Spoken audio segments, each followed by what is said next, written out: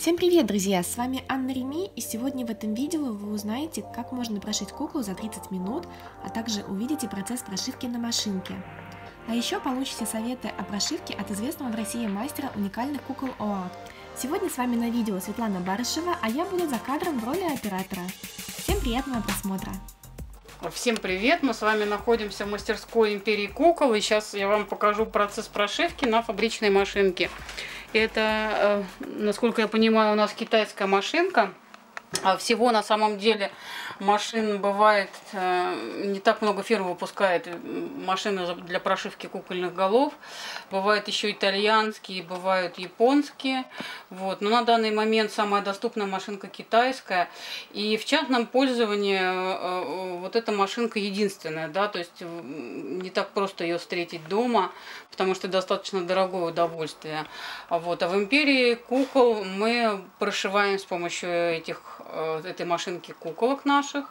Вот, в том числе будем вам э, прошивать куколок на конкурс. И вы можете заказать у нас прошивку да, своей куклы.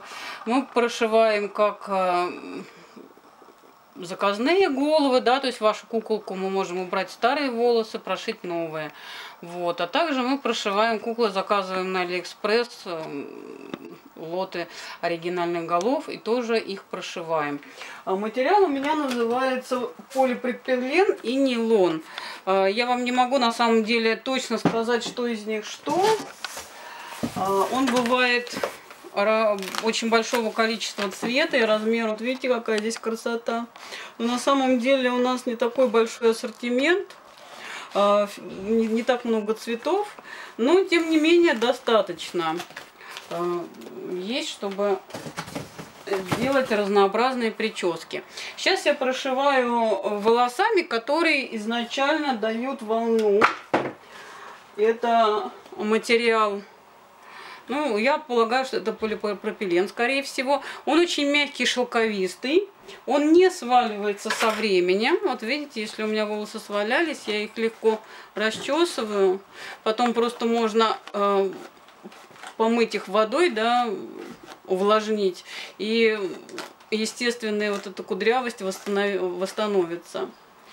Да, это вот лишние волосы здесь вычесываются, если они не взялись в прошивку.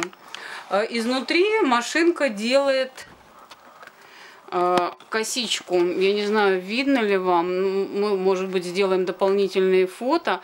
Изнутри делается косичка, и то есть, если волосы подергать, то они не вынимаются никаким образом уже, да, их можно только подстричь, вот, э, ни, ни с каким усилием, вы, усилием вынуть их нельзя.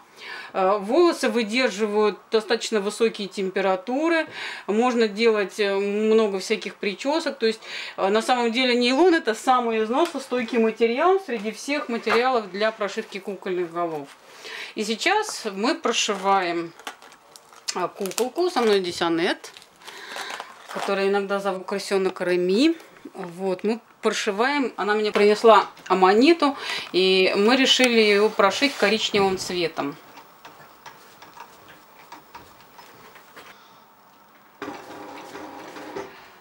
А, если я прошиваю голову, которая уже была изначально прошита раньше, я стараюсь попадать а, максимально близко к фабричной линии прошивки. Как правило, эта линия идет э, от э, центра макушки достаточно такими правильными кругами Сейчас у меня стоит скорость э, оборотов 300 э, оборотов в минуту. Минимальная скорость оборотов 200 оборотов в минуту. И максимальная, я даже не знаю, я не задавалась этим вопросом. Э, Но ну, даже вот при второй скорости, это одна из самых маленьких скоростей, как видите, да, процесс происходит очень быстро. Смысл самого движения в том, что снизу подается игла, снизу подается игла. У иглы отверстие в виде петли, она не замкнута. Петля захватывает волос. Она может захватить не полностью весь волос, да, какое-то количество волос может вылезать, они потом, мы их потом спокойно вычесываем, да, и ничего страшного, да, то есть у нас нет такой необходимости брать целиком, да. Когда проходит э, фиксатор проходит максимально сзади, тут есть нож, он обрезает прядь, но не каждую, да, а примерно каждый второй оборот он вырезает предыдущий. И э, одновременно да, делается небольшое отступление э, иголкой, то есть продвигается э, сама иголка. И, в общем-то, происходит такое вот движение.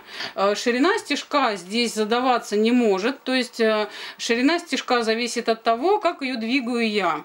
И, собственно, ну, как бы само мастерство прошивки на этой машине как раз зависит от того, насколько равномерно я буду двигать вот этот стежок, ну, вернее, вот, вот эту иголку, да.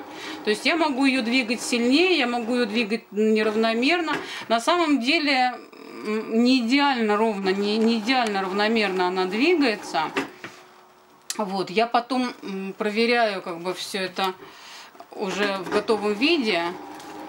Иногда, если есть большие отступления, я прошиваю это вручную. Естественно, на фабрике это не делается. На фабрике вы иногда можете встречать пропуски да, в головах. Вот теперь вы будете знать, да, почему это происходит. Вот. Потому что на самом деле процесс не автоматизирован. И насколько я такой вот, насколько твердая рука, насколько больше опыта. Ну вот видите, в принципе почти, почти идеально, да, примерно миллиметр стежок идет. И, ну, когда мы прошиваем не окантовку, это нам не так важно, что где-то они у нас шире, где-то у нас уже.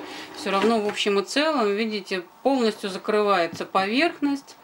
Вот. И этим, кстати, отличается прошивка качественной оригинальной куклы от прошивки, например, поддельной. На поддельной кукле вы можете встретить всего 3-4 стежка. И Этим они ограничиваются. Ну да, о, да, 3-4 ряда точно. Достаточно страшный, так сказать, процесс, да. С очень, большим, с очень большой силой вращается рычаг, на котором нитка. То есть, если попадет рука или палец, то я думаю, что реально может быть перелом, да. И, ну, то есть нужно быть, нужно как бы знать, откуда выходит иголка, потому что иголка выходит с очень большой силой давления. Кажется, что очень легко, но, видите, иголка протыкает э, толстую достаточно резину, просто как масло, да. Ну вот, на, на самом деле очень густая прошивка, это тоже не всегда хорошо. Волосы стоят колом, и невозможно их уложить. Поэтому нижние совсем ряды я не прошиваю так уж прям сильно густо. Для того, чтобы это красиво лежало. То есть это никак нам не создаст никакие проплешины. Видите, ровными концентрическими кругами. На самом деле это не единственная схема прошивки. Еще есть схема прошивки, некоторые прошивают туда-сюда, вперед-назад.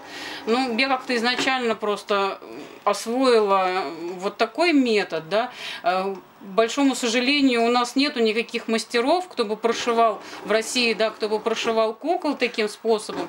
И совершенно некому подсказать какие-то, может быть, фишки, какие-то лайфхаки. Приходится их находить самостоятельно. Вот. Приходится все ошибки исправлять самим. Э, и понимать, что ты делаешь правильно, что ты делаешь неправильно. Э, никакого сервиса обслуживания этих машинок нету.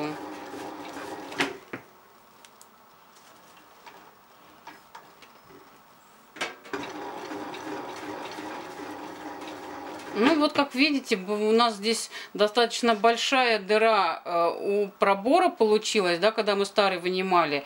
Скорее всего, повторного прошивания, вот эта область не вы, прошивки, эту область не выдержит. И поэтому в данном случае мы попробуем сделать пробор сбоку.